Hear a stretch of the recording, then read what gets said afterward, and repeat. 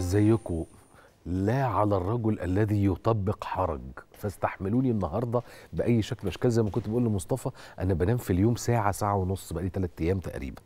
آه والله يمكن أكتر كمان. مش أكتر في عدد ساعات النوم أكتر في عدد الأيام اللي أنا صاحية. بس مش دي المسألة. النهارده النهارده هو يوم من أهم الأيام يوم مشهود زي ما بيتقال. مجلس النواب الجديد البرلمان الجديد تحديدا في العاصمة الإدارية الجديدة كان بيشهد جلسة أداء الرئيس عبد الفتاح السيسي اليمين الدستورية لفترة رئاسية جديدة. وطبعا زي ما كنت بقول لكم امبارح وده اعمالا لنص المادة 144 من الدستور المصري. العاصمة الإدارية الجديدة دي شيء أكتر من بديع بالمناسبة. العاصمة كلها هذه المدينة التي نراها اليوم بالمناسبة هي جزء من كل. يعني إيه؟ اللي إحنا شايفينه ده جزء من مشروع أكبر بكتير أضخم بكتير من اللي موجود دلوقتي على الأرض من الشكل المادي اللي إحنا شايفينه دلوقتي ده. لأنه لسه على مر سنين كتير جاية بإذن الله هيبقى عمال بيكبر وبيتوسع وما إلى ذلك. ده واحد. اتنين بعض الناس لا زالت تتحدث في كلام الحقيقة آراء عجب العجاب عجب العجاب. وكان لازمتها إيه العاصمة؟ إحنا لسه قاعدين عمالين بنعيد ونزيد فلازمتها إيه العاصمة الإدارية؟ بالمناسبة يا جماعة مصر الحديثة اللي بدأ تاريخها الحديث يكتب تحديدا من 1805 مع بداية الأسرة العلوية مع حكم محمد علي واللي امتد لحد 1952 محدش كان بيقول ولازمته إيه شارع الدواوين. عارفين شارع الدواوين ولا لأ؟ أقول لك شارع الدواوين إيه. زمان كان مكان الحكم هو القلعة نفسها اللي إحنا بنسميها كده قلعة محمد علي قلعة صلاح الدين والقصر فوق. كان ده مقر الحكم. في مرحلة لاحقة قرروا إن هم يبنوا مباني للوزارات اللي هي دلوقتي شارع مجلس الشعب وحاجة اسمها شارع الدواوين قبل ما تخش كده أو أنت داخل على ميدان لازغلي. ده كان المقر بتاع الدواوين والوزارات اللي تم إنشائها آنذاك في القرن ال19 في النصف الثاني من القرن ال19 محدش قال وليه؟ ما كنا كملنا في القلعة فوق. محدش قال كده. لأنه ده جزء من معطيات الحداثة والتطور والتحديث اللي بيحصل في البلاد. مصر اللي كانت بتتحكم زي ما كنت بقول لكم من آلاف السنين في الأقصر طيبة أو 100 رهينة منف مثلا. هي هي برضه مصر اللي اتحكمت في مرحلة لاحقة مع بداية ولاية عمرو بن العاص للفسطاط. هي هي القطائع. هي هي القطائع. هي هي قاهرة المعز. بتكبر بتتوسع. العاصمة الإدارية اللي قدام حضرتك ده هو امتداد طبيعي للتاريخ. دي عجلة التاريخ المستمره التطوير والتحديث. أنا عايز أعرف هو مين اللي عاجبه القاهرة بوضعها المزدحم الحالي؟ يعني مين اللي بيفكر في ده؟ ثم تعالوا هنا. أنا أتذكر زمان أيام الرئيس الراحل الشهيد محمد أنور السادات عندما كان هناك تفكير لإنشاء ما نعرفه الآن باسم مدينة السادات حتى تصبح مقرا جديدا لإدارة البلاد. ده على سبيل المثال وده كان تصورات. في أيام ما بعد اغتيال الرئيس محمد أنور السادات كانت هناك أحاديث بدأت في النصف الثاني من الثمانينات. أنا حضرت جانب كبير جدا منها وكنت طفل في بيوت أكبر كتاب ومثقفين مصر وفي مكاتبهم. وهم بيتكلموا على إنه آن الأوان إنه يتم نقل العاصمة. ولماذا لا يقوم النظام الحاكم بنقل العاصمة؟ القاهرة أصبحت مكتظة مزدحمة. القاهرة تزداد تلوثا. إحنا عاوزين نفضي القاهرة التاريخية علشان نشوف المباني اللي موجودة فيها ونعيدها إلى بهائها القديم ويعملوا حاجة جديدة يديروا منها الحكم. وبالتالي نقدر إن إحنا نوزع هذا الازدحام نقلل الازدحام ونوزع هذه الكتلة السكانية الضخمة جدا اللي كلها مح... ربع مصر في القاهرة. مين بقى اللي لسه بيفكر في قصة ولازمته إيه؟ ثانية واحدة وأصل المباني دي فخمة بزيادة. أنت عارف عارف اللي مستخسر النعمة في نفسه؟ يعني أنت عاوز تاخد مباني نص كم؟ عاوز شكل عادي تقليدي؟ الله. طب ما هو تلات ارباعكم كانوا بيقولوا يا سلام. إحنا عايزين يبقى عندنا أنا أقول لك بمنطقه عايزين يبقى عندنا زي دبي. طب اهو. عايزين يبقى عندنا زي ابو ظبي اهو. عايزين يبقى عندنا زي نيويورك اهو. عايزين يبقى في عندنا زي بر... اهو. يعني اعمل لك إيه؟ اللي حضرتك طلبته على مدار تقريبا تقريبا 45 سنة متحقق قدامك اللي حضرتك طلبته.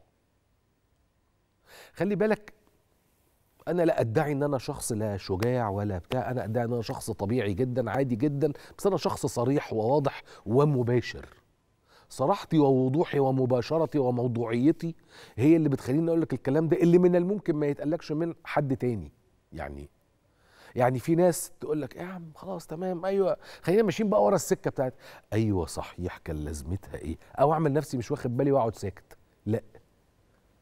لو أنا عايز اصف نفسي بالشجاعة أقول لك هو جزء من الشجاعة ان أنت تقول الحقيقة. حتى لو الحقيقة مش جاية على مزاجك ما تزعلش مني. عزيزي المشاهد أنت على راسي. بالمناسبة على راسي جدا. لكن لأ لو المسألة سليمة ومش على مزاجك أنا آسف مش لازم أمشي على هواك. أقول لك هي سليمة. أصل إحنا صرفنا فيها فلوس. لا يا فندم إحنا جبنا من وراها فلوس. وأظن ده قتل بحثا ونقاشا. قتل إيه؟ بحثا ونقاشا وبالأرقام. العاصمة دي محققة فوائض مش عاملة عجز. لا دي محققة فوائض ده كم متر في الصحراء ما كانوش يتباعوا ب 50 قرش. أيامه. لما كان بيتباع المتر بجنيه ويوم ما يتمعظم كان بيبيع بدولار على خمسة جنيه ونص. للحبايب والقرايب والأصدقاء. أيامه. زمان. دي أقل متر فيها اتباع ب 10000 جنيه للمستثمرين. مستثمرين من مصر ومن المنطقة العربية ومن بره وحاجة عشرة على عشرة وحققت فوائض والورق موجود واتعلن على حضراتكم بدل المرة عشرات المرات. أمي مثلا ربنا يديها الصحة كانت معارضة جدا مرة من المرات في زيارة لبلد ما عربي وشخصية عربية معارضة كانت شخصية عربية قومية يعني. فبدأ يتكلم كان الكلام ده أيام رئيس السادات الله يرحمه. خد بالك وأمي كانت معارضة ومرفوضة وكانت مهددة وقتها بالحبس. خلاص قبل قرار سبتمبر على طول. والشخصية العربية القومية اتكلم بسوء عن الرئيس السادات امي كلته كلته ده اللي أنا أفهمه. إحنا ممكن نختلف في وجهات نظر نقل أدبنا لأ. نختلف في وجهات نظر بس نبقى موضوعيين. نحرض بقى وبتاع ما ينفعش. هرجعك تاني على هذا اليوم عشان مش عايز أخد بعضنا ونبقى ماشيين على الدفة اللي بيحاول يوجهنا ليها الإخوان. النهارده يوم مهم يوم مهم مش بس عشان اليمين الدستورية لفترة رئاسية جديدة بإذن الله سبحانه وتعالى في عمر هذا الوطن وبقيادة هذا الرجل الذي قاد الوطن للوضع اللي انت شايفه دلوقتي ده بأكبر أكبر حصيلة دولارية عرفتها مصر في تاريخ بنوكها من وقت ما كان بداية العمل المصرفي في مصر بالبنك الأهلي في بنك مصر ثم صناعة أو القطاع المصرفي المصري والبنك المركزي فيما بعد ذلك. أكبر حصيلة دولارية عرفناها في تاريخنا. بس كده لا الراجل ده هو صاحب رقم شديد الأهمية على سبيل المثال ده بقى اللي هو الرقم الأحدث. أكبر حجم استثمار أجنبي مباشر حصل في تاريخ الاقتصاد المصري حصل في عهد فخامة الرئيس عبد الفتاح السيسي. ما حصلتش قبله. حبي واحترامي مش للجميع للغالبية. باستثناء اتنين. يعني للكل باستثناء اتنين. حلو كده؟ فاحنا النهارده بنشوف يوم مذهل. شفنا بعينينا مكان بيتطور كل لحظة وكل يوم. اسمه العاصمة الإدارية الجديدة. لا ده إحنا لازم نفخر بده. ويمكن ده جزء من ال ال ال اليوم اللي حصل وحضراتكم يمكن شايفين فخامه الرئيس وهو داخل على مقر مجلس النواب المصري الجديد بالعاصمة الإدارية. ده المقر المبهج الذي يدعو للفخر اللي يفرح بالمناسبة. هنا الرئيس داخل طبعا وبصحبته سيادة المستشار حنفي جبالي رئيس مجلس النواب ومعاه الوكيلين أستاذ محمد أبو العينين و أنا شفت آه والمستشار أحمد سعد طبعا الوكيلين وكيلين مجلس النواب. وبالمناسبة يعني كنا مجموعة من الزملاء النواب النهارده قعدنا نتمشى جوه المكان وقعدنا نشوف المكاتب ونشوف التجهيزات ونشوف التحديث اللي حصل قد إيه المكان حديث وقد كده المكان متطور. إحنا شايفين في النص بالمناسبة ده سيادة المستشار أحمد مناع آه الأمين العام لمجلس النواب اللي هو في المنتصف. آه ف ده اللي أنا عايز أقوله لك. ده يا جماعة خطوة جديدة خطوة جديدة في مشوار كلنا بالمناسبة بدأناه مع بعض. كلنا كنا واقفين على قلب رجل واحد بنفس وجهة النظر بنفس النظرة للمستقبل بنفس الأمل بنفس الروح في 30 6 سنة 2013 وفضلنا مكملين في 2014 15 بدأت ناس مخها يتزغزغ حبة. وارد. المهم إن إحنا لازم كلنا رايحين لنفس الهدف. كلنا رايحين فين؟ لنفس الهدف. عايزك برضو يمكن هتشوف أيوه فخامة الرئيس وهو يتقدم لاداء وحلف اليمين الدستورية أمام نواب الشعب أمام مجلس النواب المصري وأيضا كان بحضور مجموعة من آه، أعضاء مجلس الشيوخ المصري في نفس ذات القاعة ويمكن دي آه، اللقطة اللي هي تقريبا حوالي 38 ثانية واللي حلف فيها فخامة الرئيس اليمين الدستوري. حاجة الحقيقة أكتر من رائعة أكتر من رائعة. بعد حلف اليمين الرئيس يعني قال كلمة تطرق فيها لمجموعة من المواضيع العامة الخاصة بينا عموما في مصر سواء إذا كانت داخلا أو المتعلقة بالإقليم. ويمكن ده كان ساعة آه، كلمة فخامة ال- الرئيس. آه، يا سادة كرام إحنا بدأنا المشوار كلنا سوا وعايزين نكمل المشوار كلنا سوا. نختلف زي ما كلنا عايزين. إحنا هنختلف. بس إحنا مش هنمشي ورا دفة الإخوان ولا دفة قلاضشهم اللي مترميين في لندن دول. إحنا هنكمل مشوارنا نختلف في بعض وجهات النظر وإيه يعني؟ الحوار الوطني معمول علشان كده علشان نختلف وعلشان نتفق وعشان نوصل لحلول ونوصل للأرضية المشتركة. هستأذنكم نروح لفاصل ونرجع نكمل الكلام.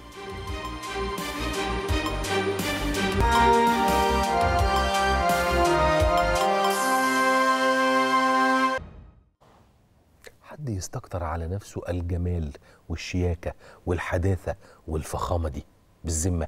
ده إيه ده؟ إيه ده؟ مكان مهيب بالمناسبة. طيب خلونا نكمل كلامنا بعد إذن حضراتكم على مراسم التنصيب التاريخية لفخامة الرئيس عبد الفتاح السيسي والخطاب الذي يحمل القسم باستكمال البناء. يا سادة كرام مصر زي ما كنت بقول لكم كلنا دون أي استثناء بدأنا المشوار وهنكمله بأمر الله سوا. مهما كانت اختلافاتنا في وجهات الحوار الوطني معمول عشان نختلف في وجهات النظر ونتفق على وجهات نظر أخرى ونجد أرضيات مشتركة ونكمل المشوار بتاعنا لأجل جمهورية جديدة. معانا على التليفون سيادة المستشار محمود فوزي رئيس الأمانة الفنية للحوار الوطني. أهلا أهلا أهلا يا فندم. أستاذ يوسف ازي حضرتك؟ إزاي أهلاً الصحة يا فندم؟ كله بيك. الله تمام؟ يخليك الله يخليك. كيف رأى المستشار محمود فوزي هذا اليوم؟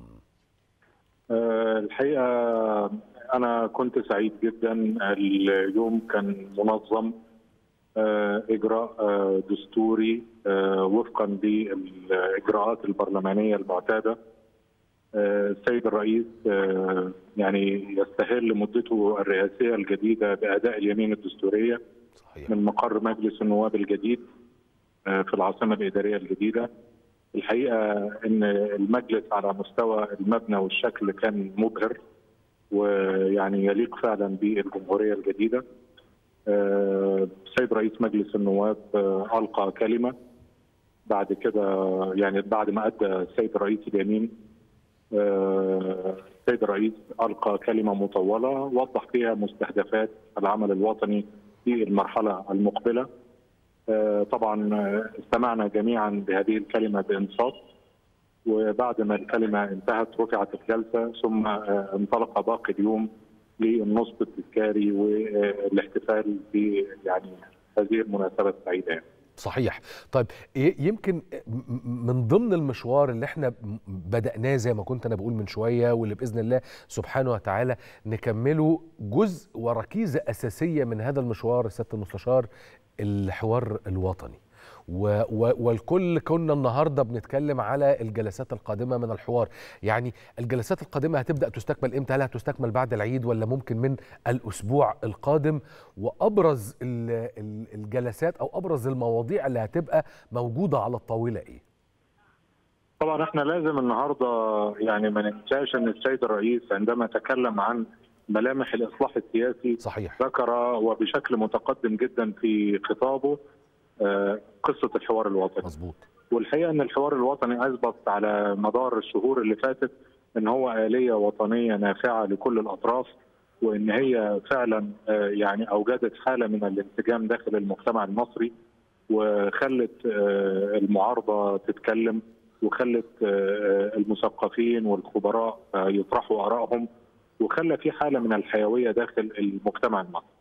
آه، أستاذ يوسف الحوار الوطني حدد 113 قضية خلص منهم حوالي 70 قضية آه، في محاور سياسية واقتصادية ومجتمعية.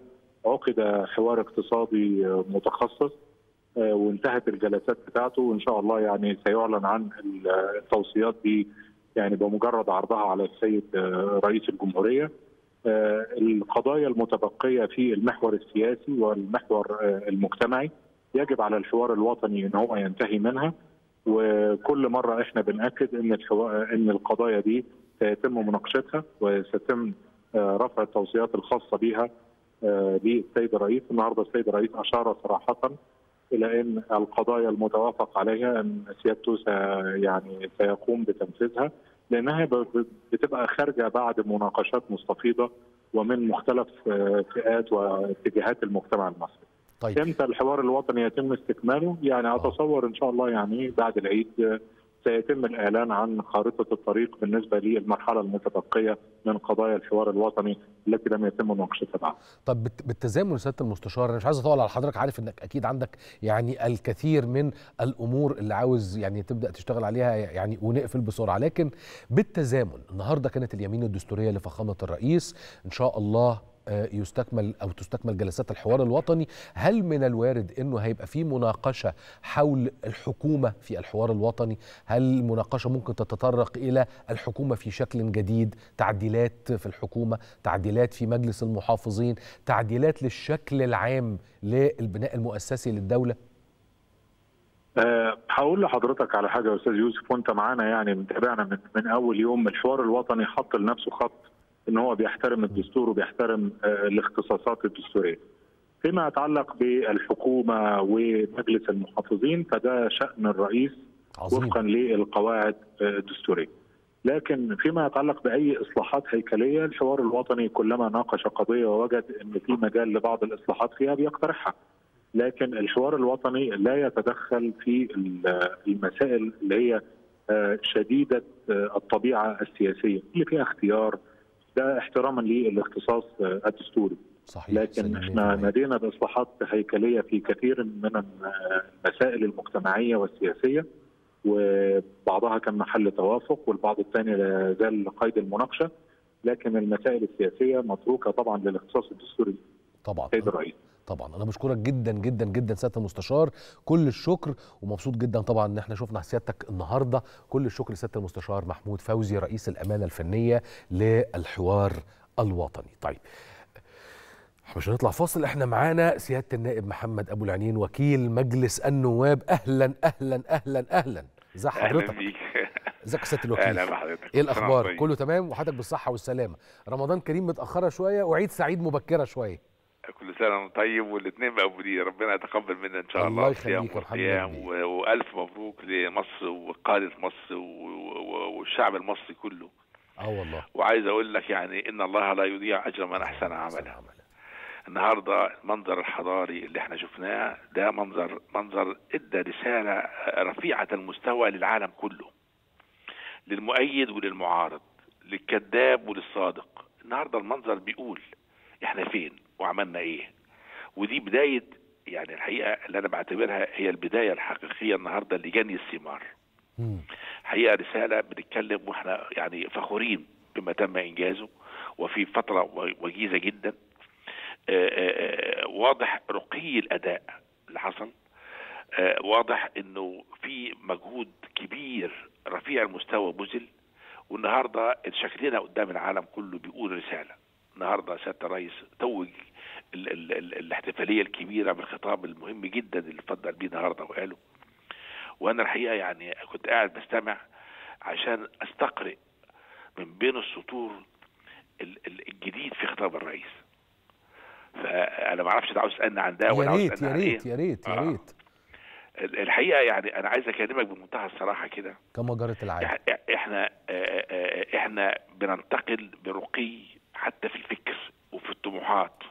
الأداء وفي شكلنا قدام العالم عشان نقدم صورة حضارية متحضرة برسالة جديدة. رسالة جديدة دي اللي قال معلمها النهارده خريطة طريقها السيد الرئيس. النهارده السيد الرئيس في خطابه أكد على موضوعات في غاية الأهمية. وبدأ بأهم موضوع موضوع أمن واستقرار مصر. وده لأنه لأنه في رسالة إحنا بنتكلم على كل حدودنا النهارده آه، على فيها مشاكل ومهددة شمالا وجنوبا وشرقا و- يعني انت عارف اللي حصل إيه. صحيح. لكن النهارده لما يتكلم يقول أمن وامان مصر دي ما بتجيش من فراغ لا بتيجي من قائد حط خطوط حمراء قبل كده. واداها لل- للعالم كله. قال دي خط أحمر. مرة قال في الجفرة في ليبيا ومرة قال في تهجير الفلسطينيين ومرة آه، بيتكلم على آه، آه، القدرات بتاعتنا. إحنا إن إحنا مش هنسمح لحد إنه يعني لا يبتزنا ولا يجي ناحية حقوقنا ولا. يجي ناحية حدودنا.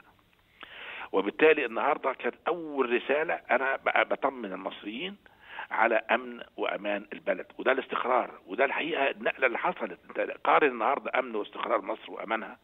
باللي حصل من عشر سنين. تعرف الفرق على طول إيه؟ فرق السماء والأرض. آه ما أنت عارف شفت المهزلة اللي إحنا كنا طبعا. فيها دي والفوضى اللي كنا فيها. النهارده بقى في أمن وفي استقرار وفي أمان. وأنا لا أخفيك يعني أنا بقى بقى يمكن من- جولاتي بره سواء كان في الأمم المتحدة أو في الاتحاد الأوروبي أو البرلمان الأوروبي أو البرلمانات ال- المختلفة حول العالم. الناس بتقول لك بتقول لك إحنا عاوزين الشريك بتاعنا القوي. الشريك اللي له كلمة. الشريك اللي قادر على التحدي. الشريك اللي نعتمد عليه في المنطقة. هي مصر. قولا واحدا. وده قالها حتى رئيس الناتو في في في بروكسل. وأنا واقف كنا بنتكلم على احتفالية 23 يوليو في بروكسل. والسفير المصري كان موجود والدنيا كلها كانت موجودة. الاتحاد الأوروبي بالكامل وأكثر من من من من 100 سفير موجودين مدعوين. الحقيقة لهذا الكلام. وأنا كنت فخور ان يقول هذه الرسالة إن إحنا بندور على الشريك القوي بندور على آه، آه، من له مصداقية وله آه، بيرعى الأمانة وبيرعى المصالح المشتركة. هي مصر. أنا يعني ده تقدير تقدير لمصر وتقدير لقائد مصر. النهارده خطاب الرئيس بدأ بالأمن والأمان وانتهى وانتقل إلى ما هو أعمق بقى كيف نفجر الطاقات الكامنة في مصر. ال- ال- الطاقات الكامنة دي سواء كانت طاقات بشرية أو طاقات آه، آه، طبيعية. الطاقات البشرية اتكلم على طموحات المستقبل لبناء البنية الفوقية زي ما اتكلمنا قبل كده بنتكلم على البنية التحتية الطرق والكباري والغاز والمية والكهرباء. خلاص ده موضوع خد وضعه واشتغلنا فيه وشفنا النتائج كلها في مصر كلها شفنا النتائج اللي, اللي تغنينا بيها عبر العشر سنوات دي كل يوم في إنجاز كل يوم في شكل بيتغير في مصر في محافظات مصر في في قرى مصر في مشروعات العملاقة اللي موجودة في مصر. الناس عارفة الكلام ده كله وشايفاه وشايفه الظهير العمراني لأكثر من 20 محافظة. لما بنتكلم على الأقصر القديمة وجنبها الأقصر الجديدة بنتكلم عن سوهاج وسوهاج الجديدة والمنيا. ومنيا الجديدة وهكذا. إحنا بنتكلم عن رؤى جديدة بطموحات جديدة شملت كل بقاع مصر وانتقلنا فيها من الوادي الضيق 6% إلى 12 و- وداخلين على أكثر من كده. حلو. النهارده إحنا بنتكلم على تحقيق قصة جديدة وأنا يمكن ما بلاقيش حد يتكلم عنها جديد؟ وهقول لك برضه عشان أنت كراجل مرموق في ال- في ال- الصحافة ومرموق في. ال- في, ال- في الإعلام. أنا عاوز أتكلم عن نقطة القيمة المضافه اللي حصلت في مصر. لما تتكلم أنت مصر كانت فين وقيمها قد إيه والنهارده المشروعات العملاقه اللي حصلت وغز- وغزينا فيها الصحراء كلها. القيمة المضافة اللي حصلت. تخيل أرض ما كانش لها قيمة في الصحراء. صحراء جرداء ما لهاش قيمة. كنا بنتكلم على مدن بيها ب 50 جنيه المتر وجنيه وأسعار رخيصة جدا. النهارده المدينة العاصمة الإدارية والساحل الشمالي. قبل كده ما كانش ليه قيم. لكن النهارده شوف القيم هناك بقت قد إيه. حقق كده الأرقام هتوصل إلى تريليونز صح. موجودة في بس صح. ده, في مشروعين كبار صح. بس. وده بيستتبعوا بقى بقية الاستخدام اللي جاي بقى للمستقبل والقيم المضافة لأصول مصر كلها. طيب. يعني أنا شايف إن الأرقام لازم تتكلم. والأرقام دي لازم تتحدد حتى من الجماعه الإحصائيين اللي عندهم إحصائيات اللي يقدروا يحددوا النهارده معالم القيم المضافة اللي بتتزايد على مصر آه، عبر السنوات نتيجة المشروعات العملاقة والفكر. المستنير. كلام هايل كلام هايل. طيب عايز انتقل لحاجة تانية؟ أنا عارف نعم. إنه يعني أكيد آه، الوقت مش هيبقى كفاية بالنسبة لنا في مكالمة. اولا عايزين نتقابل ونعمل حلقة حلوة كده ونقعد نتكلم وناخد الزوايا دي لأن أنا عجبني بصراحة الكلام ده قوي. قوي. فعاوز بقى إيه؟ حبيبي. ناخده على راحتنا. موافقين؟ متفقين؟ ده اتفاق مبدئي صح كده. طيب. حاضر. وقصة كبيرة لأنه شفت المنظر بتاع المجلس كان عامل إزاي النهارده؟ آه. شفت المنظر الحضاري اللي طالع للعالم النهارده؟ أعتقد دي رسالة تخلص الكذابين والمضللين وأصحاب الألحان ال- ال- الرديئة وال- والعالم ال- المشككين. النهارده إحنا بداية الإنجاز الحقيقي في رسالة في صحيح، رسالة رفيعة المستوى. صحيح. وأرجو وأدعو من الله سبحانه وتعالى. يا رب. وزي يا ما سيدي. الرئيس عهد شعبه إن إحنا إنه يبني ويقف لأمن مصر وقدم حياته قبل كده فداء للوطن إحنا كلنا نقسم أمامه وأمام الله سبحانه وتعالى إن نكون في ظهره ونكون. مؤيدين ونكون في كتفه وفي وفي ومطيعين لأوامره ومقيمين لادائه العظيم عشان نبني مصر حديثه كل حاجة فيها خير نبني الحضاره المصريه. الجديده نبني الجمهوريه الجديده برؤى التنافسيه في المحيط الحيوي والاقليمي الكبير اللي بيستدعي جهد وفكر كل مواطن مصري. يا رب يا مسهل. أنا بشكرك جدا جدا جدا جدا يا محمد بيه. كل الشكر سيادة النائب محمد أبو العينين وكيل مجلس النواب المصري. بعد الفاصل أكيد أكيد هنتكلم على اليوم وهنتكلم على رؤية الست سنين اللي جايين وهنتكلم على دعائم الجمهورية الجديدة. طب هنتكلم إزاي؟ هنتكلم مع أول نائبة تترأس جلسة مجلس النواب المصري في جلسته الافتتاحية في تاريخ البرلمان المصري وبطبيعة الحال في تاريخ البرلمانات العربية. الكاتبة الصحفية الكبيرة سيادة النائبة فريدة الشباشي استنونا بعد الفاصل.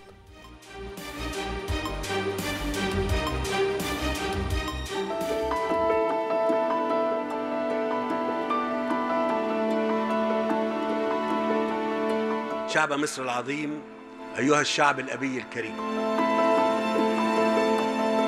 إن تشييد وتدعيم أسس الجمهورية الجديدة يشهد نموا وتطورا كل يوم بما تصنعه أيدينا من عمل وجهد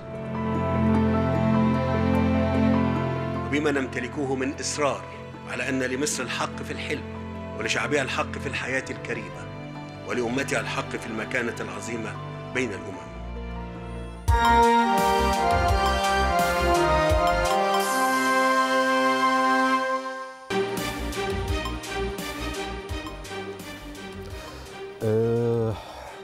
اقتباسا من صديقي وزميلي محمد دسوقي رشدي وعمل حلقة مع أستاذة فريدة سماها المرأة الحديدية.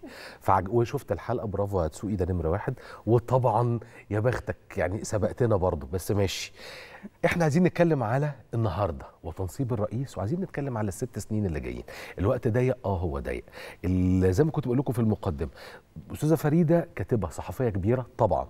نائبة طبعا. أستاذة فريدة زي ما كنت بقول لكم كده هي أول سيدة مصرية تترأس جلسة افتتاح البرلمان أو مجلس النواب المصري منذ نشأته وحتى الآن. وبالتالي بما إن إحنا أول مجلس فإحنا اذا أستاذة فريدة تبقى أول نائبة تترأس البرلمان في تاريخ العمل البرلماني العربي. منورانا شكرا.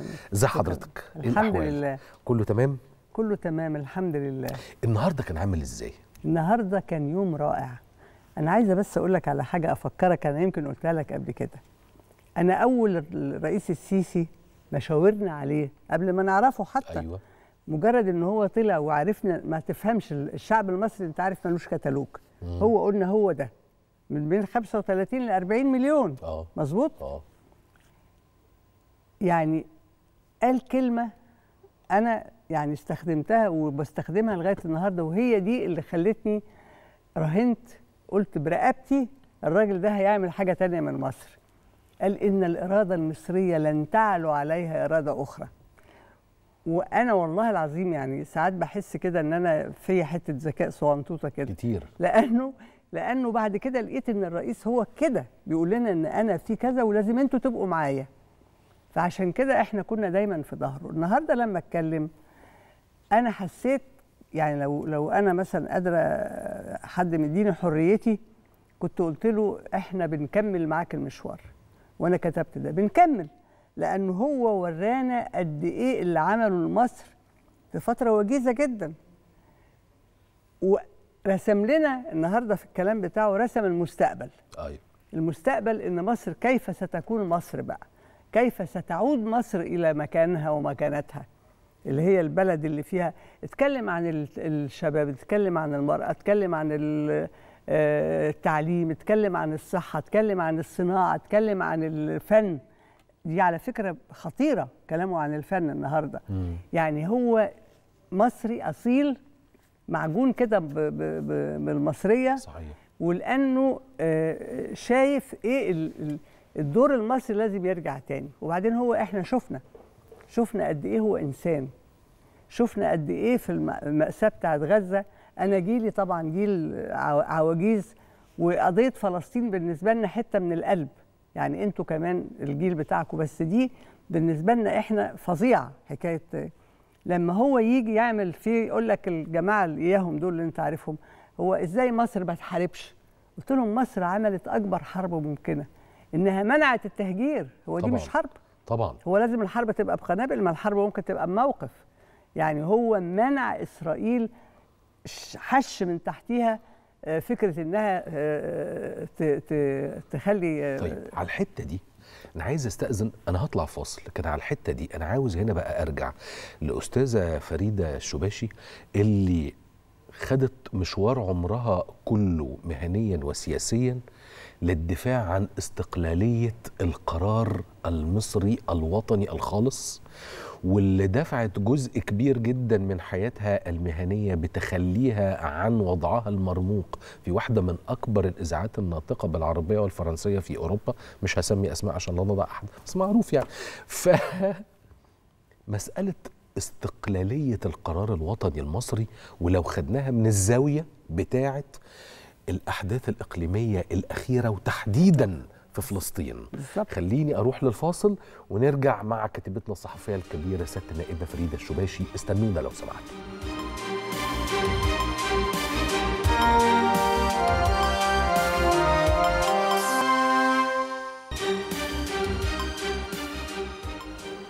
ازي حضراتكم مرة تانية كل الترحيب بضيفتنا العزيزة جدا جدا جدا كاتبتنا الصحفية الكبيرة والنائبة فريدة الشباشي وكنت بتكلم على استقلالية القرار الوطني. وحتى وإحنا في الفاصل كنا بنتكلم إنه في اللي حصل في فلسطين العالم كله قال تهجير للفلسطينيين ومصر بس بقيادة الرئيس السيسي قالت لأ. قرار خط قرار أحمر. مصر تم اتخاذه. بالظبط كده. طيب وده اللي خلى أيوة. أيوة. عفوا يعني. لا، اتفضلي فندم. ده اللي خلى القضية الفلسطينية بقت في الصدارة. دلوقتي كله بيناقش القضية الفلسطينية اللي مع واللي ضد. واخد بالك؟ يعني مش تعاطف يعني. يعني أمريكا عمرها ما هتتغير. طبعا. يعني لكن ال- اللي خلى القضية الفلسطينية تصدرت اهتمامات وأنباء العالم كله زي ما قلت لك سواء مع أو ضد القرار المصري قرار السيسي.